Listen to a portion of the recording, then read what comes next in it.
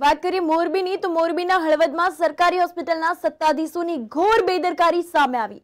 જાહેર રસ્તામાં medical waste ફેંકવામાં આવ્યું છે. હળવદ તાલુકા સરકારી હોસ્પિટલમાં જાહેરમાં મેડિકલ વેસ્ટનો કચરો દેખાતા દર્દીઓના આરોગ્ય સાથે ચીડા થઈ રહ્યા છે. રોજની સરકારી હોસ્પિટલ મેન ગેટની અંદર જતાની સાથે જ મેડિકલ વેસ્ટનો ઢગલો નજરે પડી રહ્યો છે. દ્રશ્યો સામે આવ્યા છે. અનેક સવાલો ચર્ચાઈ રહ્યા છે. તેમજ હોસ્પિટલમાં રખાયેલું વોટર કુલર મેડિકલ વેસ્ટ પડ્યું છે, જેને કારણે લોકોના આરોગ્ય સાથે ચેડા થઈ રહ્યા છે. હળવદ સરકારી હોસ્પિટલના સત્તાધીશોની ઘોર બેદરકારી સામે આવી છે. જેમાં હળવદ સરકારી હોસ્પિટલમાં જ જાહેરમાં મેડિકલ વેસ્ટ ફેંકવામાં આવે છે. સરકારી હોસ્પિટલ મુખ્ય ગેટ સામે અંદર જતા એની સાથે મેડિકલ વેસ્ટ નજરે પડી રહ્યું છે.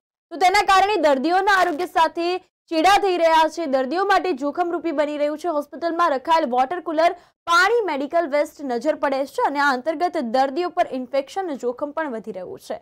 જોકે મેડિકલ વેસ્ટ દર્દીઓ દ્વારા નાખવામાં આવતું હોવાનું રટણ તંત્ર દ્વારા કરવામાં આવી રહ્યું છે. જો દર્દીઓ દ્વારા કચરો નાખવામાં આવતો હોય તો હોસ્પિટલ તંત્રને ગ્રાઉન્ડની સાફ સફાઈ કરવામાં કેમ નથી આવતી? અનેક સવાલો આ બાબતે ચર્ચાઈ રહ્યા છે. આ અંતર્ગત તંત્રની ઘોર બેદરકારી સામે આવી છે.